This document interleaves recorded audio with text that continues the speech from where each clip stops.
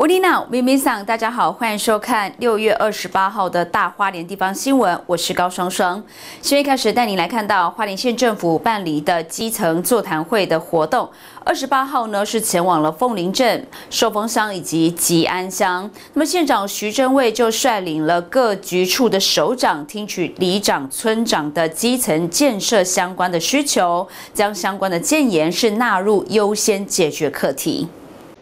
基层座谈会当中，村里长一一向县长徐祯卫率领县府各局处首长们提出自己里内的建设需求内容，包括路灯照明、社区景观工程、电力地下化等相关建议。县长徐祯卫在逐一了解后，立即指示相关局处针对提案列表整理，并尽速完成会刊，或提报中央相关机关单位，协请协助解决方案。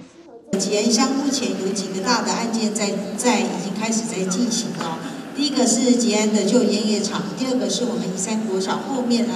呃宜山国小对面的我们的这个呃亲子我们老少亲子馆的部分。那另外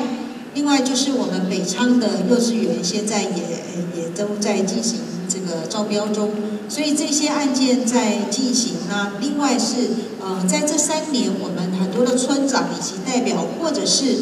一一九九九啊的这个反应，或者是县长信箱的民众反应，这个部分我们都一一来会开，一一来解决。当然啊，县政府当然乡公所有乡公所的经费来执行啊，那县政府啊也在这个有这个呃多少的部分，我们也都来做协助。所以在我们村长的提案里面，如果一个村长提案十案，是不可能没有办法十案尽都做，所以都会第一个，我们都会分级来施做，等于说轻重缓急还是要做一下，毕竟县政府的经费也是有限的。